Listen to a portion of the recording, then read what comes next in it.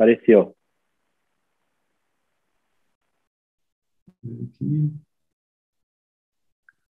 Acho que sim, né?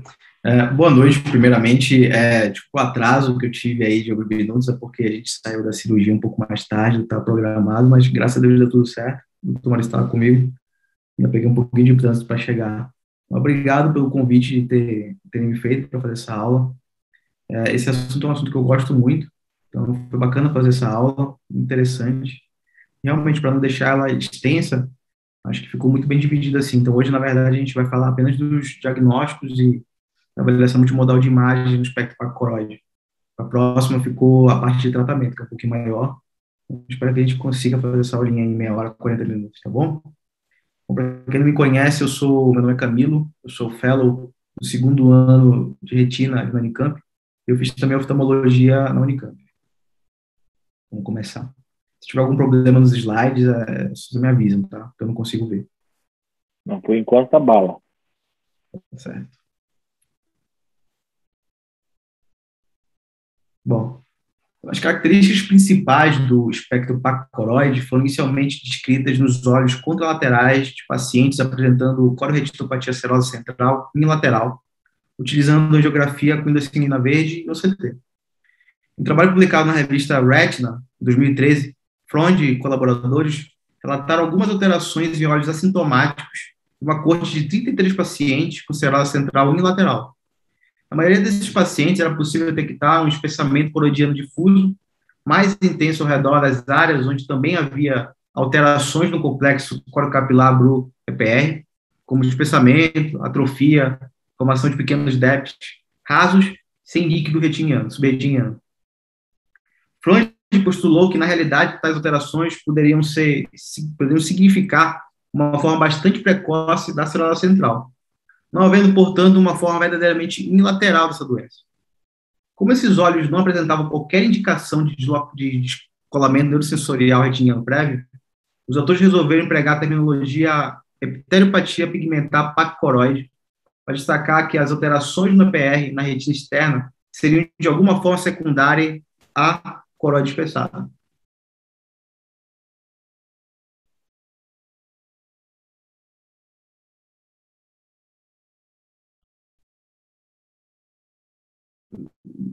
Travou um pouquinho aqui, deixa eu ver se vai. vai.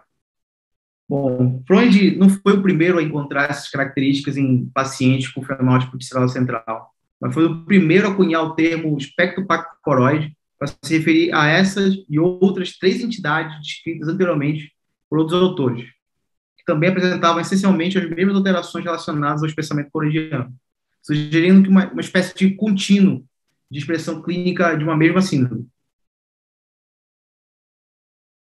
Então, essas três síndromes aqui, o trabalho de Freud publicado em 2013, foram classificadas como espectro pacoroide. É ele que deu a, a, essa dominação que a gente usa até hoje. Após esse artigo, outros autores também reportaram características similares aos observados na teropatia pigmentar pacoroide, em outras entidades, como a escavação focal da coroide e a síndrome pacoroide peripapilar.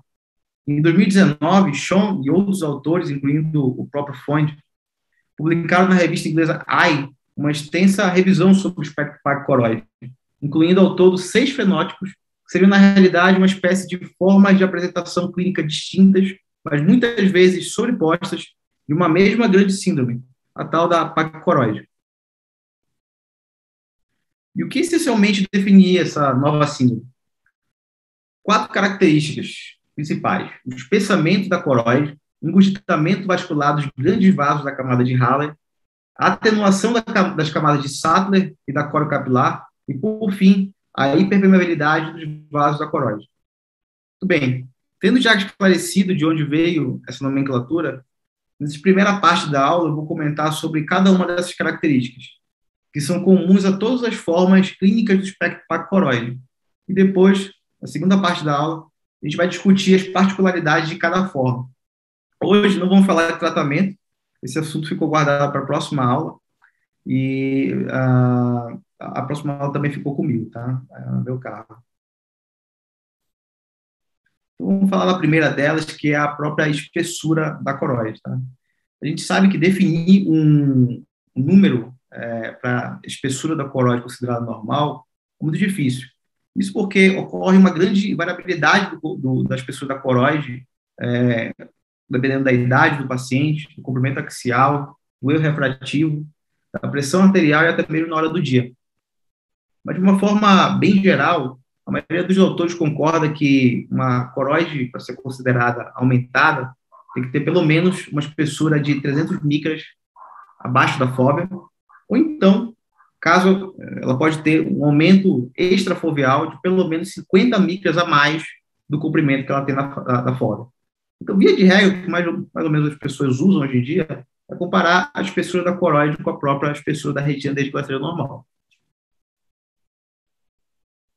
Em vários olhos, podemos observar um aumento quantitativo da espessura da coroide, seja focal ou difuso, comparado a indivíduos sem doença, variados pela idade. Apesar disso, também é possível observar a paquicoroide em indivíduos com espessura coroidiana normal ou mesmo reduzida. E essa dicotomia pode ser explicada pela própria casa de Sattler e da coro capilar, que acompanha a dilatação das vênulas da camada de Haller, os chamados paquivasos. Dessa forma, o critério isolado de aumento total na espessura corodiana deixou de ser considerado como tão importante para a definição de paquicoroide. O termo paquicoroide não deve ser utilizado como sinônimo de coroide espessada, já que paquicoroide, na verdade, se trata de uma definição mais ampla, traduzindo também alterações estruturais e funcionais relacionadas ao mecanismo fisiopatológico da doença. Aqui podemos ver um exemplo da presença de paquivasos, sem, no entanto, haver um aumento significativo na espessura total da coroide. Na etnografia da esquerda, é possível observar uma discreta redução da aparência tesselada ou tigroide da mácula, justamente pelo aumento da pigmentação da coroide dessa região. A autofluorescência demonstra áreas de hipo e hiper compatíveis com alterações do epitélio pigmentar, e aqui no CT podemos conseguir observar bem o motivo. Repare que a coroide subveal não se encontra aumentada. Afinal, 231 micras pode ser considerada uma espessura normal para a maioria da população. Porém, o aumento do calibre dos grandes vasos da camada de Haller é bastante claro. Não existe nenhuma definição objetiva universal de qual seria esse calibre mínimo do vaso para poder ser considerado aumentado. Mas alguns autores mencionam o valor de 100 micras. Aqui nessa imagem, Alguns desses vasos chegam a ocupar quase que a espessura inteira da coroide. Então, certamente, tem mais do que 100 micras. E, por fim, essa expressão, expansão da camada de Halle causa uma atenuação, ou mesmo atrofia, da camada de vasos médios, que é chamada de camada de Sattler, e da coro capilar logo adjacente, colorido aqui amarelo, para ficar mais claro. E agora, uma última informação bem importante. Vocês estão vendo aqui uma elevação da, hiperreflectante do complexo EPR, Blue Coro Capilar. Então, geralmente, essas alterações no epitélio pigmentar aparecem justamente adjacentes aos paquivasos, reforçando a teoria de que o dano ao complexo coro-capilar Blue EPR também teria uma natureza mecânica, ou seja, pela própria compressão dessas estruturas pelos paquivasos adjacentes.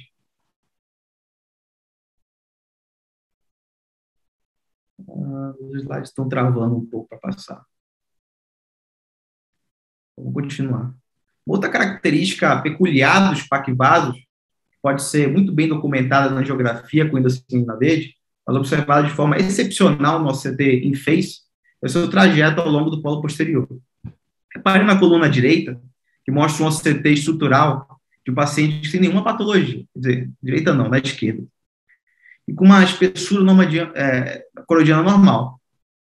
Nas duas imagens de OCT, em face, é possível observar que os vasos da camada de Haller afinam progressivamente conforme se aproxima do disco óptico, ou seja, do polo posterior. E é possível ver esse fenômeno nessas duas segmentações de profundidade diferentes. Agora, reparem aqui no paciente da direita. O CT estrutural em cima mostra uma coroide de 434 micras, um grande paquivaso no canto esquerdo da imagem. As imagens que você tem fez revelam que esses vasos mantêm seu calibre aumentado, mesmo trajeto ao posterior, e alguns deles até fazem um término abrupto ao se aproximar do disco e do centro macular. Isso tudo que eu mostrei agora é extremamente importante para definir o conceito de paquivaso. Então, esses conceitos que eu citei até agora são muito importantes para se compreender o espectro clínico da síndrome pacoróide, ou espectro ou doença pacoróide. Se formos levar ao pé da letra, os paquivasos deriva paquivasos, um termo que deriva do grego, que significa espessado, ou seja, é um vaso espessado. Mas o que entendemos hoje por paquivasos e paquicoroide já não é simplesmente só o tamanho. Isso é um conceito relativamente novo, talvez com menos de 10 anos agora.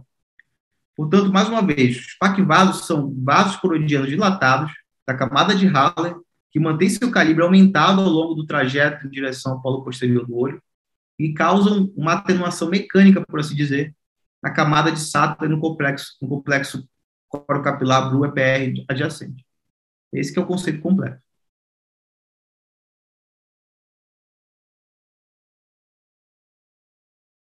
Continuando, a terceira e talvez mais importante característica comum a todos os fenótipos do espectro paquicoroide é a hiperpermeabilidade setorial coroidiana.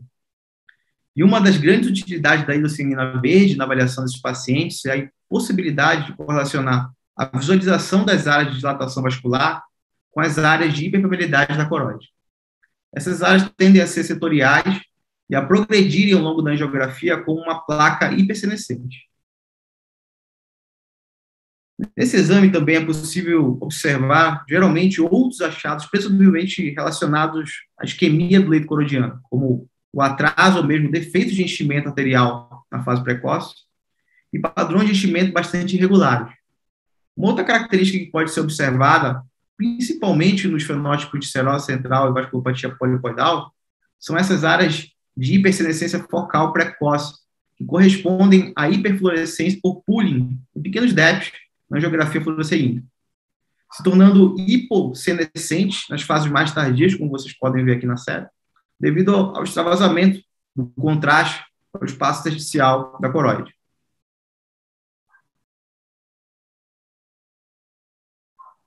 Aqui em verde, o DEP, né, fazendo um pooling, uh, como eu falei. Então, me perdoe se eu estiver sendo um pouquinho repetitivo, mas trouxe aqui uma imagem legal de um artigo publicado também na revista AI, também pelo grupo de Freud, né, do Freud, também em 2015. É possível observar três, as três características principais do espectro pacoroide no estudo multimodal de imagens. Os OCTs estruturais, aqui observamos a presença de paquivasos e da atenuação da camada de Sattler e da coro capilar, com ou sem aumento da espessura total da coroide. São vários pacientes, são três pacientes diferentes. Essa imagem inferior, por exemplo, mostra uma coroide bastante fina, apenas 137 micras. Aqui podemos observar a transição abrupta dos paquivasos no polo posterior, além da hiperpermeabilidade desses vasos na endocrinina verde. E, por fim, aqui embaixo, uma imagem de angio-CT mostrando uma área de atenuação do sinal de fluxo na coro capilar, e logo acima uma área de dilatação vascular nas camadas de Haller. Essa última aqui. Agora, essa foi a primeira parte da aula. Na segunda parte, agora, vamos abordar um pouco sobre o que tem se falado atualmente em relação à fisiopatologia da paquiporose. Eu tenho que deixar claro aqui que a maior, a maior parte dos porquês a respeito dessa síndrome ainda não tem resposta definitiva. Muitas das explicações que encontramos na literatura atualmente são pautadas em observações retrospectivas de cortes ou em estudos experimentais com animais. E ainda que muito superficiais, essas explicações são necessárias para nos dar alguma luz na hora de propor estudar possíveis tratamentos para a doença. Então, apesar dos mecanismos fisiopatológicos que contribuem para o desenvolvimento da paquicoroide, dos paquivasos, ainda não serem esclarecidos, é possível que a congestão venosa no leito vascular da coroide desempenhe um papel, papel importante. Alguns estudos anatopatológicos demonstraram que as ampolas das veias corticosas atuam possivelmente na regulação hemodinâmica da coroide, porque ali se encontram várias estruturas especializadas que também ocorrem em outras áreas vasculares do corpo, que também atuam na regulação hemodinâmica, por exemplo, o seio carotídeo. E na coroide, nos paquivasos em si, ocorre com o tempo processo de hialinização é, da parede vascular desses vasos, principalmente na vasculopatia polipoidal da. Essa hialinização é uma alteração já conhecida e bastante típica de leitos vasculares sobrecarregados com pressão. Então, a dilatação dos vasos coroidianos pode ser explicada por um estado de hipertensão venosa crônica. Em estudo experimental com macacos rezos, o oftalmologista Haire observou que as ampolas de, das vorticoses não formavam conexões anastomóticas. Diferentemente do que ocorre em quase qualquer outro tecido do corpo, o suprimento arterial e a drenagem venosa da coroide não formam um padrão natural fractual, onde um vaso de menor calibre combina com o outro para formar um vaso de maior calibre, assim sucessivamente. Ao invés disso, a coroide é irrigada e drenada em lóbulos, que formam unidades tanto funcionais quanto anatômicas, que passam a combinar em veias de calibre cada vez maior, sem realizar anastomoses significativas até atingir as ampolas das veias vorticosas. Esse padrão forma uma divisão anatômica entre o território de drenagem de cada veia vorticosa, que geralmente se apresenta no número de quatro ou cinco, uma para cada quadrante, podendo também haver pessoas com mais vorticoses. Na interseção desses quadrantes existe uma zona sem grandes vasos, chamada de watershed zone. Nesse trabalho, o que o Spade observou foi que em todos os olhos com espectro pacoroide haviam várias anastomoses entre os paquivasos do sistema das vorticoses alterando esse padrão de funcionamento independente de cada um. O Spade sugere que essas anastomoses, portanto, seriam lesões adquiridas, provavelmente para equilibrar alguma situação de aumento na pressão hidrostática do meio porodiano. Com o passar do tempo, do processo de remodelação vascular, provavelmente essas anastomoses iriam aumentar de calibre e se tornar espaquivasos. Ainda assim, o autor não deixou claro, em primeiro lugar, qual seria a natureza do insulto que estimularia a formação dessa anastomose intervorticosa, ou seja, o que estaria por trás dessa, desse está, suposto estado de hipertensão venosa crônica. Mesmo assim, esses achados, esses achados acabaram direcionando um atributo a mais para que se entende né, hoje como PAC-vaso. Então, aqui tem uma figura bastante legal do artigo do Spade mostrando justamente isso, a datação dos vasos das ampolas vorticosas e aqui anastomoses entre cada quadrante de vorticoses, que ultrapassam essas zonas aqui no meio de cada quadrante, tanto no plano horizontal quanto vertical, formando as tais anastomoses. As anastomoses aqui, além de passarem pela mácula, elas também passam, costumam passar ao redor dos discos, como vocês podem ver aqui nas imagens de baixo. Aqui, para efeito de comparação, marquei uma vorticose normal, para vocês compararem com essa aqui de baixo, dilatada e formando as anastomoses. Esse paciente aqui tem cinco vorticoses, se vocês forem reparar. Né? Quatro aqui e uma outra aqui, uma extra aqui, que não fez anastomoses. Bom, agora por fim a gente vai falar das manifestações clínicas do espectro pacoróide para cada um dos fenótipos. Vai ser uma, um bate-papo aqui rápido, a gente vai dar uma maior importância nesse tema aqui na próxima aula. Para não tornar repetitivo, eu deixei para entrar em detalhes sobre uh, as doenças principais que a gente vai falar mais do tratamento, que são a cirrose central e a vasculopatia polipoidal, uh, para semana que vem. Então, a primeira entidade, se é que pode ser chamada assim, que iremos discutir, é a heteropatia pigmentar pacoroide. A forma mais simples de entender essa doença é imaginá-la como uma espécie de forma frustra da corretinopatia cerebral central. Porque, na verdade, foi assim que ela foi inicialmente descrita, como um conjunto de alterações subclínicas em olhos contralaterais de indivíduos com cerebral central. E essas alterações são justamente aquelas que vimos nas, nas definições do espectro pacoróide, ou seja, aumento na espessura da coroide, paquivasos, hipermobilidade vascular e alterações no PR que justamente separam essa entidade de uma outra definição que eu ainda não comentei, a pacoroide não complicada. E o que é a pacoroide não complicada? É justamente um olho que tem um aumento da espessura da coroide, podendo até mesmo ter paquivasos, mas que é completamente assintomático e que não tem alterações na PR secundárias a esse espessamento da coroide, ou seja, pacoroide não complicada pode ser entendida como uma variação da normalidade, ou um estágio muito inicial de alguma entidade patológica, provavelmente dita, do espectro pacoroide. Se esse olho desenvolver alguma alteração no EPR, aí a gente passa a ter um caso de epitelipatia pigmentar pacoroide. Agora, atualmente existem muitas controvérsias em relação a esses conceitos que eu acabei de falar aqui para vocês. Isso tudo, aqui são ideias das primeiras descrições do, da epitelipatia pigmentar pacoroide. em que se acreditava que essas essa condição antecederia a próxima que iremos falar agora, que é a cirrose central. E o que fundamentalmente separaria as duas entidades seria a presença ou não de fluido subretiniano. No momento que a epiteropatia pigmentar paquicoroide evoluísse com uma descompensação aguda do EPR e passasse a fazer um descolamento neurosensorial da retina, ela seria o caso de cirrose central. Tudo bem, mas onde fica a controvérsia nisso? É que, como veremos daqui a pouco, a cirrose central, via de regra, é uma condição autolimitada, na enorme maioria dos casos, ou seja, o DNS se resolve espontaneamente.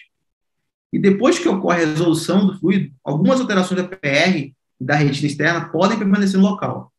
Pode até mesmo aparecerem algumas alterações dos enóides ali, por exemplo. Então, muitos autores, incluindo o próprio Spade, têm questionado sobre essa definição clássica de, de pigmentar pacoróide, porque virtualmente é impossível, base, baseado puramente nessas características aqui, separar a pteropatia pigmentar pacoróide de um caso de célula central já resolvido.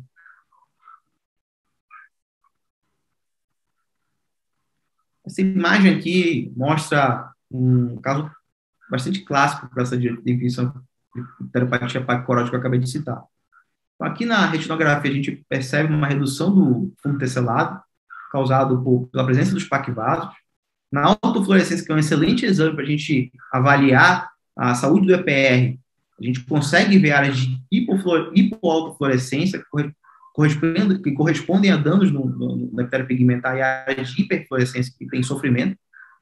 Quando a gente olha no OCT estrutural, a gente vê paquivasos aqui, com alterações aqui na linha do complexo EPR. Então, isso aqui é a pteropatia pigmentar pacoroide.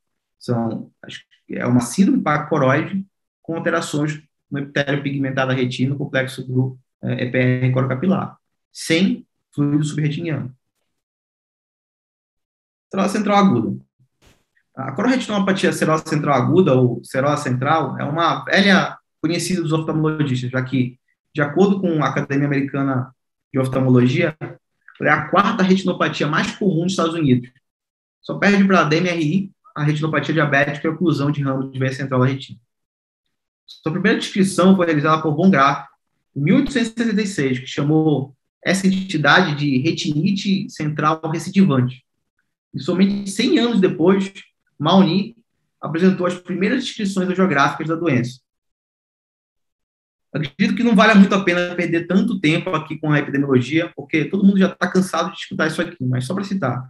É uma doença cinco vezes mais comum em homens do que mulheres, com pico de incidência na quarta década de vida, e em idosos existe um maior risco de apresentação bilateral, neovascularização, cronificação da doença. Várias associações, associações sistêmicas já foram descritas com a cirrose central. A mais importante é com o hipercortisolismo, seja ele endógeno, exógeno, ou seja, através do uso de corticoides por qualquer via, ou endógeno. É, nos casos de, por exemplo, síndrome de Cushing, estresse importante, insônia e outros. Como a tal personalidade do tipo A, que foi observada pelo famoso estudo Iannuzzi na década de 80. Também existe associação com a gestação, lúpus, transplante de órgãos e doença renal, e doença renal terminal. Outros autores também demonstraram associações com, com a apneia obstrutiva do sono e até mesmo infecção sintomática pelo H. pylori. Eles são relatos de casos ah, com menos indivíduos e ah, também um pouquinho controversos. Bom, falando da forma aguda da cirrose central, ela se caracteriza o descolamento neurosensorial, neurosensorial seroso da retina espontâneo e autolimitado, mas aquelas características do espectro pacoróide que a gente já viu. Se envolver o centro macular, esse, descolamento ele vai provocar sintomas como bago, né, baixa visual aguda, metamorfopsia e micropsia. Ah, quando essa, esse descolamento neurosensorial começa a durar mais tempo, a gente costuma também perceber na borda aqui dele, na, no exame de fundo de olho, a presença de pontinhos amarelados aqui, que supõe-se que sejam é, segmentos externos de fotoreceptores fagocitados por por macrófagos. Então, aqui a gente vê o clássico da cirrose central que se apresenta na geografia, né, um excelente exame para confirmar a doença os três padrões de líquidos uh, na celulose aguda descritos, que é o fumaça de chaminé, esse aqui da esquerda, o padrão guarda-chuva, o cogumelo, aqui no meio, e o ponto e borrão. O ponto e borrão é o mais comum, tá? E a diferença disso aqui, é, entre esses três é, padrões aqui de extravasamento de líquido, basicamente tem a ver com a duração desse descolamento sensorial. A gente sabe que, com o tempo, a composição proteica do líquido subretinho tende a alterar. Então, em formas mais precoces, a gente costuma ver, gente pode ver né, esse padrão de fumaça de chaminé guarda-chuva. Nessas formas nem tanto precoces assim, a gente costuma ver o ponto borrão, que na verdade é o mais comum. Aqui a gente tem uma imagem legal também de uma evolução de um caso bem clássico de retinopatia serosa central aguda, tá? Mostrando aqui também a geografia relacionada com a CT. Então, aqui na linha primeira, a gente vê a apresentação do paciente, como ele chegou lá no retinol.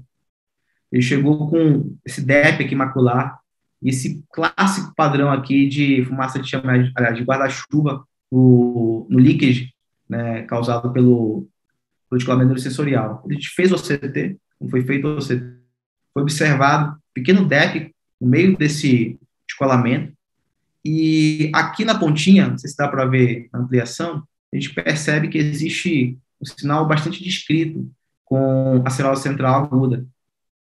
Inclusive serve para diferenciar ela de outras causas de é, descolamento sensorial da retina, como, por exemplo, causas inflamatórias, como o VOLT e outros. Que é justamente esse alargamento aqui focal da retina externa, com a presença de um material hiperreflectante combinando a retina externa com a ponta desse DEP aqui, que geralmente é seroso. Isso aqui é o sinal retinal dipping, é, descrito primeiramente por Fujimoto em 2008. Depois de quatro meses, esse paciente evoluiu com alterações pigmentares, que a gente pode ver aqui na geografia com defeito de janela, e já uma melhora do líquido subretiniano. Na ponta desse DEP que estava, a gente via o sinal do retinal dipping, a gente consegue achar uma falha aqui da PR, que provavelmente era por onde estava é, vendo líquido, na forma, apresentação inicial da doença. Seis meses depois, o DEP ele ficou mais alargado e a retina também evoluiu com diminuição das pessoas. Isso aqui é uma, uma, uma evolução clássica tá, da, da cirrose central aguda e bem bacana a forma como foi documentada.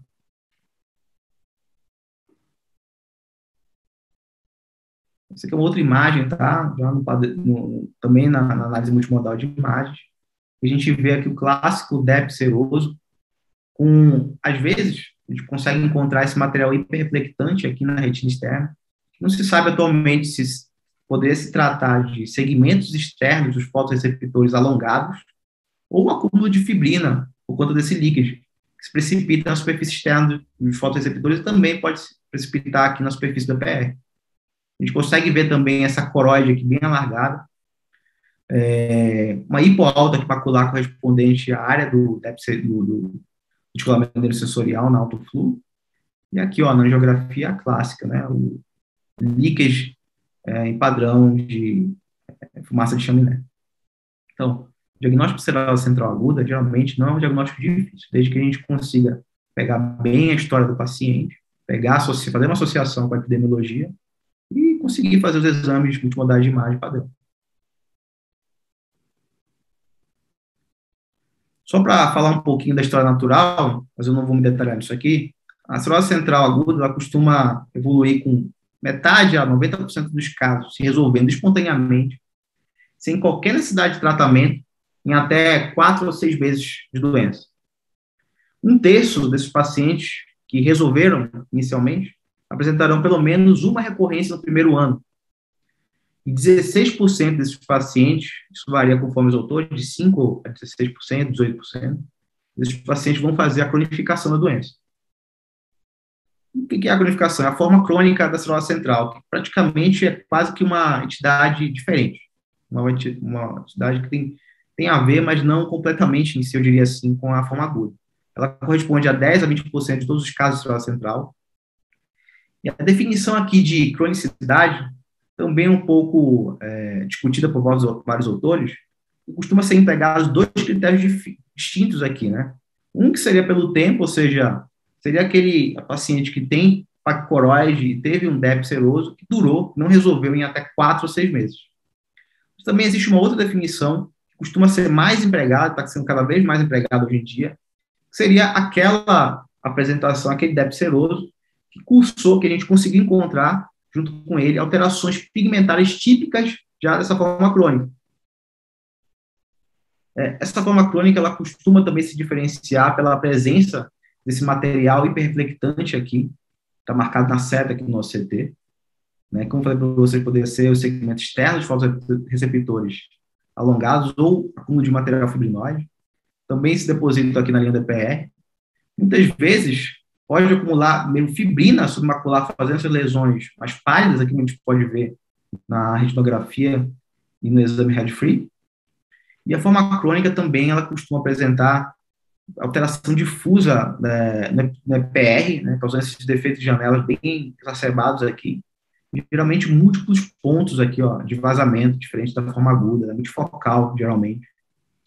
E essas atrofias aqui correspondem ou a episódios prévios de descolamento seroso resolvido, ou então a áreas de descolamento seroso que costumam ser muito mais planos, pouco altos na fase crônica. Essa é, central crônica também pode complicar, e aí que está o problema dela, ela pode complicar tanto com a atrofia da, do EPR, das camadas externas, como degeneração cistoide da retina, neovascularização macular, e aí, né, entraria o papel do tratamento com antiangiogênicos e outros que a gente vai conversar na próxima aula, e até mesmo também alguns casos com fibrose macular. Diferentemente da forma aguda, a cirrose central crônica pode oferecer uma maior dificuldade no diagnóstico diferencial também. Isso porque a doença costuma evoluir durante, durante anos e anos, podendo assumir o um aspecto de diversas outras condições que também afetam a retina e a coroide simultaneamente, como neovascularizações maculares de outras, de outras etiologias, como DMRI, polipoidal, o veículos posteriores, como síndrome de Vogt, esclerite posterior, tumores intra, intraoculares, como hemangioma difuso da coroide, pidano, doenças hematológicas como é, a macroglobulinemia de Wallstrom e o linfoma de células B primário da coroide, além de outras distrofias maculares, enfim, a lista de diagnósticos diferenciais costuma ser bastante grande. Mas um sinal bastante peculiar, descrito pelo Iannuzzi lá em 1984, ajuda muito a matar o diagnóstico da, cirrose crônica em vários casos meio duvidosos. O Iannuzzi estudou diversos pacientes com DNS recorrente por cirrose central e observou que muitos deles apresentavam esse padrão de atrofia do EPR partindo do disco ou do centro da mácula, em direção à periferia inferior, assumindo um trajeto oblíquo ou abrupto. A angiografia consegue demonstrar perfeitamente essas alterações nas fases precoces e muitas vezes também nas fases tardias. Mas o melhor exame é a autofluorescência de retina. Um exame bastante disponível, que nem precisa de contraste. Essa aparência de hipoalto central, uma borda hiperalto, em aspecto de calha ou canaleta, é quase que patognomônico da cirrose central crônica. Muitos autores consideram que a presença desse sinal, inclusive, define o quadro de serosa como crônica, independente do tempo de duração dos sintomas. Isso porque, como o próprio Iannuso percebeu, muitas vezes esses descolamentos neurosensoriais não afetam a mácula, portanto, não produzem queixa para o paciente. É sendo, é, sendo assim, Pode ser que esse paciente que se apresente com DNS foveal há pouco tempo já tenha tido, na verdade, outros episódios extrafoveais sem ter percebido nada. O interessante é que outros autores também já correlacionaram a direção do trajeto desses, dessas canaletas atróficas aqui com o lado que o paciente deita para dormir. Por isso que o sinal é chamado de também atrofia gravitacional, porque ele progride seguindo a gravidade. Aqui também uma foto, análise multimodal de imagens, é, uma, é, no quadro de célula central crônica. A gente consegue ver é, alterações aqui é, de hipopigmentação e pigmentação na retinografia colorida, alterações difusas aqui no near infrared, que a gente consegue perceber no nosso CT estrutural, que se correlacionam alterações aqui na linha do complexo do EPR, pequenas elevações, esse descolamento aqui sensorial bastante raso, e também aqui a placa coroide com paquivasos.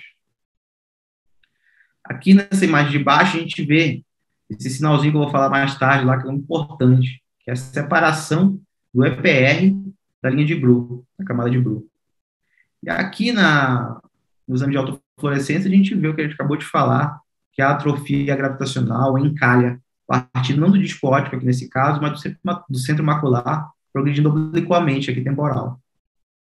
A endossegnina verde mostra a presença dos paquivasos, também, ó, de forma interessante, das anastomoses que o Spade falou, entre o quadrante temporal superior e inferior. E aqui na marca da seta a gente consegue ver pontos de hiperfluorescência, de hipersenescência aqui, né? Ah, de isso, hipersenescência aqui, que costumam ser múltiplos nos casos de serosa crônica. O terceiro fenótipo que a gente vai falar é a neovasculopatia pacoroide. Pode ser definida como uma forma de neovascularização macular do tipo 1, que acaba complicando um quadro de epiteliopatia pacoroide ou serosa central. Pela definição descrita pelo Freund colaboradores lá em 2015, o diagnóstico de neovasculopatia pacoroide implica na exclusão de outras etiologias para a neovascularização do tipo 1, principalmente a DMRI, que é muito mais frequente em indivíduos acima de 50 anos.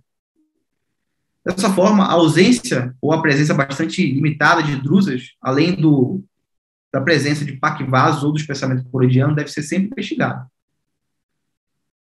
Um outro detalhe ainda controverso é sobre a possibilidade da evolução desse fenótipo de neovasculopatia pacoroide para o fenótipo de vasculopatia polipoidal, ou seja, o crescimento da rede neovascular com formação de redes ramificadas e pólipos.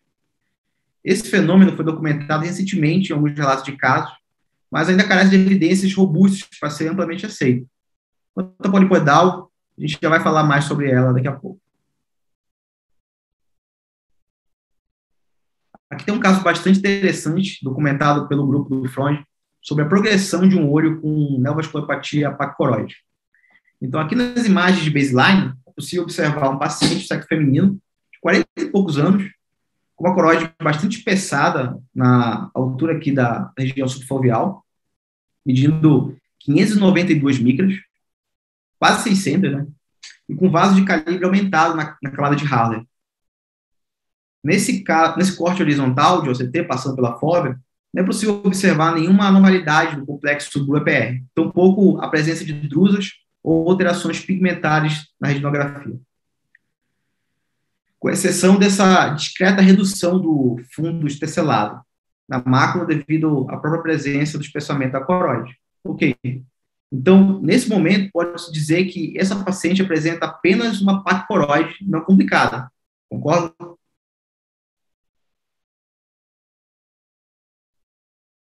Um ano depois, a imagem de OCT aqui da direita Travou aqui.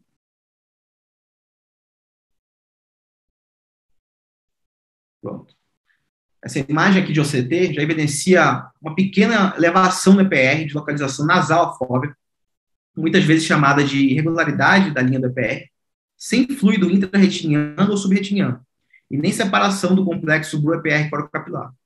Nesse caso, pelos conceitos que a gente revisou até agora, pode-se dizer que essa paciente evoluiu para um quadro de epiteliopatia pacoroide, ou seja, a coroide aumentada, paquivasos, e agora alterações da PR.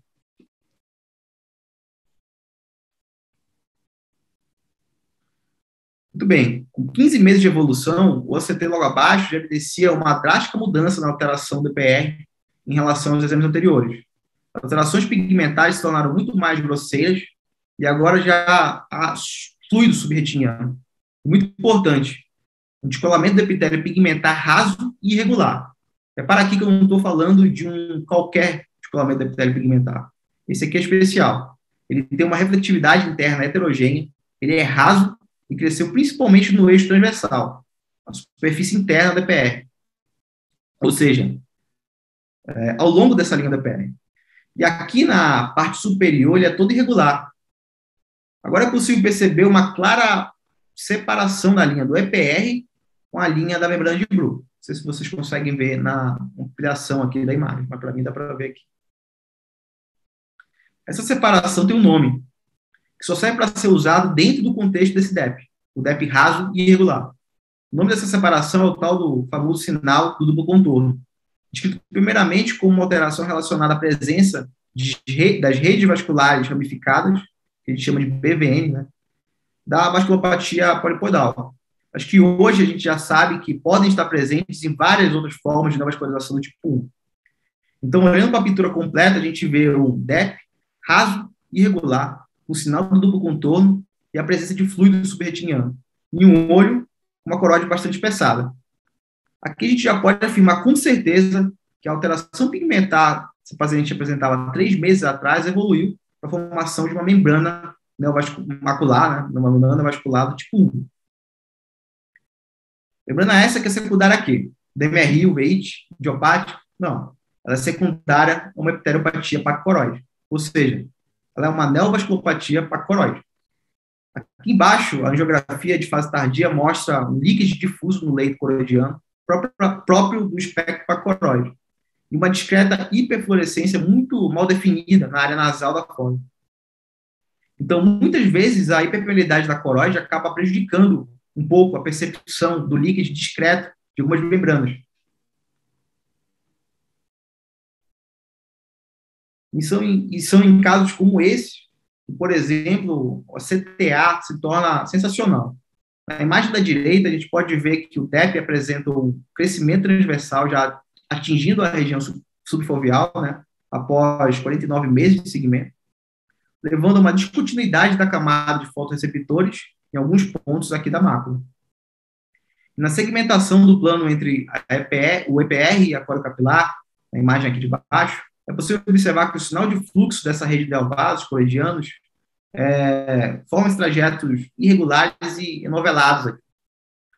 Alguns autores denominam essa aparência da membrana como Tangle Vascular Networks. Na verdade, significa isso, rede de neovasos entrelaçados. E esse, na verdade, é um padrão bastante descrito não só para vasculopatia, para neovasculopatia para coroide, mas também para a prima dela, que é a polipoidal da coroide.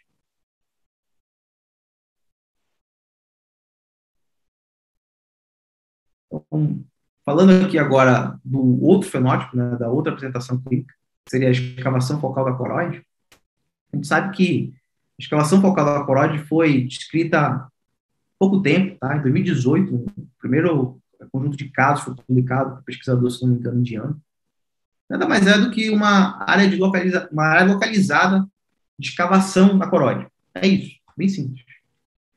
Ela não pode ter estafiloma ou ectasia escleral, senão essa alteração que a gente está vendo aqui seria secundária a essas outras é, alterações da esclera. E ela é uma lesão adquirida e não congênita, como se pensava anteriormente. Esses pacientes eles costumam ser assintomáticos na grande maioria dos casos. Quando tem sintomas, são muito poucos, tá? E podem, dependendo da localização dessa escavação aqui, eles podem queixar de borramento visual ou metamorfopsia. É uma alteração estacionária. A etiologia dessas lesões ainda é incerta. Né? A gente sabe que são lesões é, adquiridas, como eu acabei de falar, e possivelmente elas estão relacionadas a episódios de coroidite focal, que evoluiu para cicatrização, por isso apresentar esse encurtamento do tecido localizado. Provavelmente é isso. Também existe uma associação aqui bastante importante com a celulose central. Alguns trabalhos aqui descrevem uma associação de 2,8% até 24% dos casos. E a gente, na verdade, acabou encontrando um caso desses aqui, de celulose central associada à escavação, um dia desses, acho que foi até ontem, o doutor Maurício estava lá no ambulatório e mostraram para gente uma escavaçãozinha é, focal da coroide em um paciente que tinha o fenótipo coroide, mas também tinha celulose central.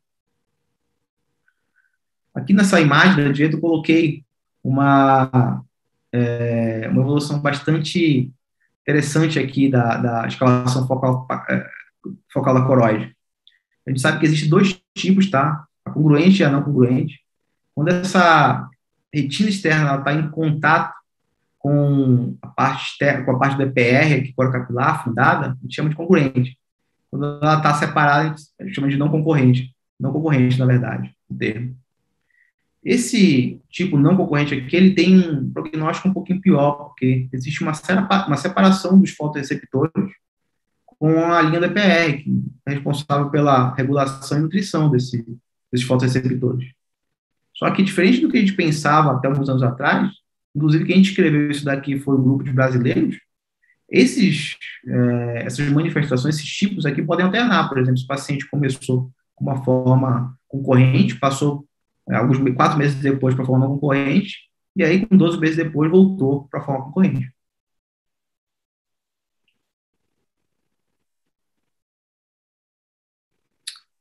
É, desculpa, me enganei, não é concorrente, é conformacional o termo correto, tá? Quase isso, né? É a forma conformacional e não conformacional. Não é só isso, né? Agora, já avançando para síndrome pacoroide peripapilar, essa aqui é uma síndrome bastante tranquila para entender. O que, que você tem que entender dela? Basicamente, é uma síndrome pacoroide, de todos aqueles achados que a gente conversou é, de aumento da espessura da coroide, paquivaso, compressão da camada de Sattler, alterações pigmentárias, tudo isso vai acontecer principalmente ao redor do disco.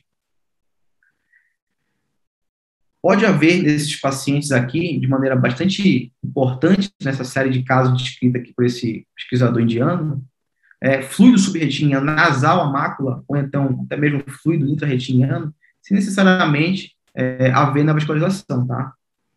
E ela possui também algumas associações importantes, tá? É muito mais comum em homens acima de 70 anos e 100% dos casos descritos aqui são bilaterais.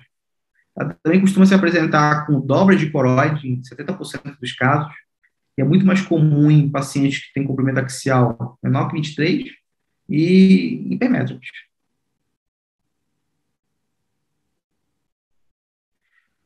Enfim, chegamos aqui à última das seis manifestações clínicas da, do espectro pacoroide, que é a vasculopatia polipoidal da coroide. E essa entidade aqui foi primeiramente descrita por Iannuzzi e colaboradores em 1990, como uma síndrome clínica definida pela presença de uma rede ramificada de neovasos coroidianos associados a dilatações terminais semelhantes a pólipos, levando à exudação clínica crônica e, caracteristicamente, hemorragias submaculares de repetição, podendo até mesmo, em alguns casos, serem maciças. Essas hemorragias, naquela época, ele pensou que poderia ser resultado da ruptura da parede fina desses grandes pólipos. Diferentemente da DMRI, a polipoidal, muito mais comum em mulheres negras e em homens asiáticos, além de ter uma forte associação com a hipertensão arterial sistêmica. O avanço atual na tecnologia de imagem retiniana tem sugerido que a prevalência da polipodal talvez seja muito maior do que a gente acreditava duas décadas atrás. A população asiática, por exemplo, a polipoidal pode corresponder a cerca de 50% dos casos diagnosticados com DMRI neovascular. Já em brancos, a prevalência reportada é bem mais baixa, entre 4% e 12%.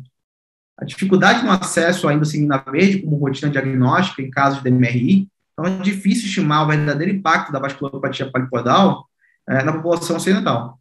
Aqui no Brasil, um trabalho realizado no centro terciário, aqui no Sudeste, com pacientes em segmento no ambulatório de oftalmologia por DMRI, observou uma prevalência de 10%, 10,6%. E também uma prevalência mais comum em mulheres. O diagnosticar polipodal é importante porque a história natural da doença e as suas respostas às diferentes modalidades terapêuticas parecem diferir do que é observado nas formas típicas de DMRI.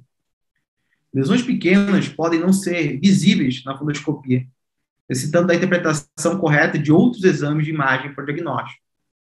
A neovascularização sub-EPR geralmente se apresenta em um padrão típico conhecido como redes ramificadas ou Branching Vascular Networks, né, como eu falei, as BVN, onde o calibre dos vasos tendem a se correlacionar com o tamanho das dilatações dos bulbos terminais. A localização macular e a unilateralidade são bem mais frequentes em negros e asiáticos, enquanto que a localização peripapilar e a bilateralidade é mais comum em brancos. As lesões tendem a evoluir com hipertrofia dos componentes tubulares e aumento das redes através das ramificações terminais. E a presença dessas dilatações faculiformes, bem agrupadas em clusters ou cachos de uva, está associada a um maior risco de hemorragia, inclusive hemorragia de repetição, e também a um pior prognóstico. Aqui nessa imagem da retinografia colorida, a gente consegue ver esses bulbos aqui subretinianos subretinianos que aparecem bem como imagens alaranjadas, bastante grandes, né? Paciente é paciente negro. Basicamente, Ianus e outros autores também detectaram que essa doença costuma ser mais, mais agressiva em pacientes negros e hipertensos. Aqui a gente vê uma hemorragia submacular importante, faz bloqueio aqui na endocrinina verde, e a endocrinina verde consegue demonstrar as BVN com as dilatações que são marcadas pelas setas vermelhas. Para que essa outra endocrinina verde aqui mostra também a presença das BVN, só que essa aqui do lado, ela tem pólipozinhos aqui, ó, é, agrupados ao longo de um canalzinho aqui, uma, uma rede, né, vascular, enquanto que essa daqui já forma o padrão de pólipos pequenos ao longo de um cacho de uva. São dois tipos diferentes. Tá? Isso aqui, para termos de tratamento, tem uma implicação que a gente vai discutir mais lá na frente. É só para saber que esse padrãozinho aqui do lado direito, o formato de cacho de uvas, está associado ao risco de hemorragia e repetição. Agora, o OCT de alta resolução, seja o Spectral Domain ou o Source, permite identificar uma gama de achados típicos de membranas vasculares sub-EPR, também em pacientes com vasculopatia polipodalar coroide. A polipodal pode se apresentar com déficit de características fibrovascular, serosa ou hemorrágica, geralmente assumindo uma conformação apiculada, chamada de V invertido, ou protusa, que é o thumb-like sign, o sinal do dedão. É o que a gente vê aqui nesse, nessa foto aqui, essa segunda foto aqui da imagem. Esse estudo aqui, bastante interessante, publicado no JAMA em 2019, avaliou a sensibilidade e a especificidade de algumas características tomográficas isoladas quando comparado com a análise multimodal de imagens, incluindo a endocrinina verde, que ainda é o padrão ouro para o diagnóstico dessa doença. Eles identificaram que existem três características altamente sugestivas de vasculopatia polipolar da coroide no exame de OCT. Os DEPs de conformação íngreme, que geralmente formam esse ângulo de 90 a 70, de 70 a 90 graus com a, a linha do EPR a presença de knots ou chanfraduras aqui na superfície do DEP, que faz essa, que esse DEP tem essa aparência de multilobado, né, também chamado de DEP multilobado.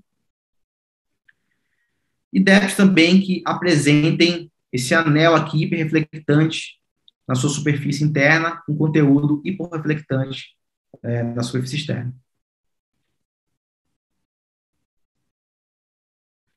Além dessas três características, os autores também incluíram como uma outra, um outro critério maior, um outro achado retinográfico, né, que seria a presença de um TEP hemorrágico, avaliado na fundoscopia.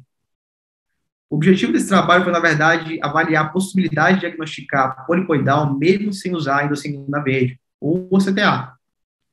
E a existência de ao menos dois desses quatro achados demonstrou uma sensibilidade e especificidade de quase 95% com uma área under the curve também quase de 95%. Ou seja, a gente percebe que essas características aqui são altamente sugestivas né, é, do diagnóstico do polipoidal comparado com o padrão ouro, que é do sangue na verde. E a gente pode também usar isso aqui a nosso favor em diversas situações que a gente dispõe desse exame.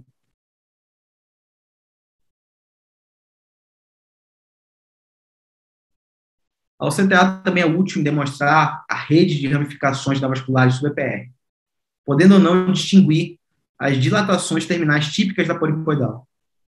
Sean e colaboradores compararam os achados de OCTA com a angiografia por indacinina verde, identificaram uma sensibilidade e especificidade de 83 e 51% da detecção de BVNs, 40,5% e 66,7% na detecção de pólipos.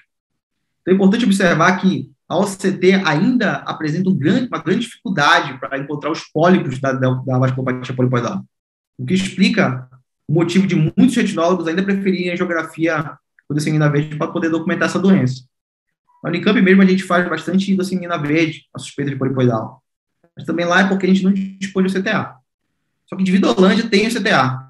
E realmente lá a gente vê muitos casos em que você tem certeza que é polipoidal pelo OCT, estrutural e pelo angiografia, mas o OCTA não mostra nenhuma dilatação.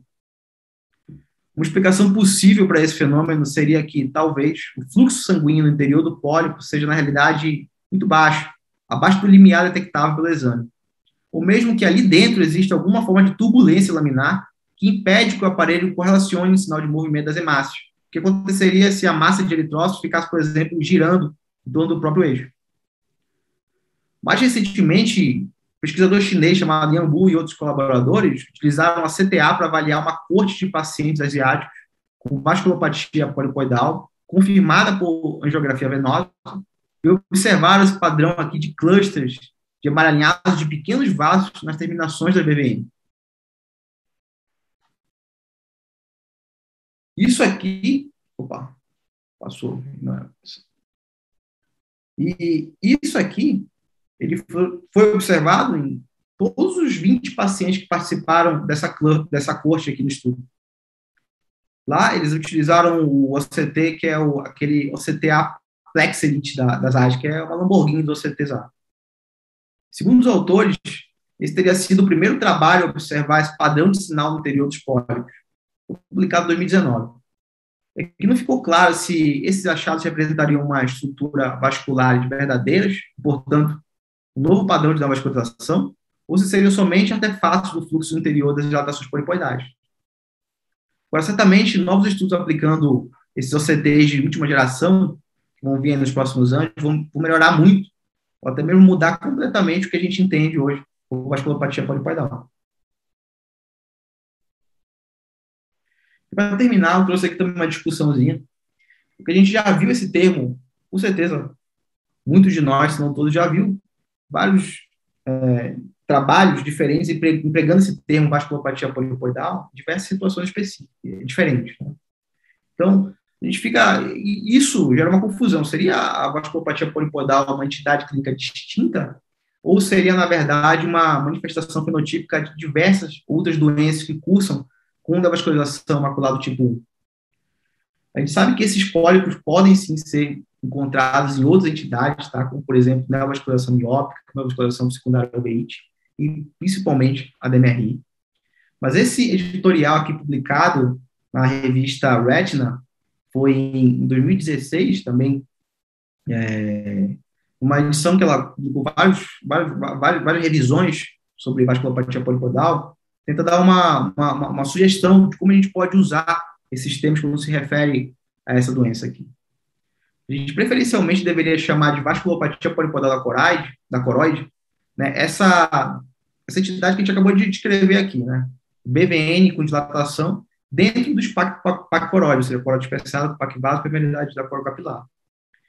E o termo neovascularização polipoidal da coroide, ou seja, um pouquinho coisa diferente, né, poderia ser aplicado nas membranas vasculares do tipo 1, com pólipos e sem outras características clínicas do espectro pacoroide.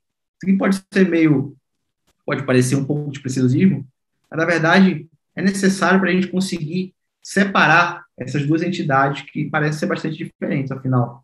A polipoidal da célula central não tem nada a ver, talvez, com um padrão de vascularização tipo 1, com pólipos que se apresentem numa demerrina vascular. Isso é importante, principalmente, para a gente usar como critério de inclusão dos estudos e trials que a gente vai fazer. Que a gente pode ler, né, que a gente vai consultar, ou até mesmo que vão ser feitos no futuro. Bom, era isso que eu tinha para falar. Ah, passou um pouquinho do tempo. Mas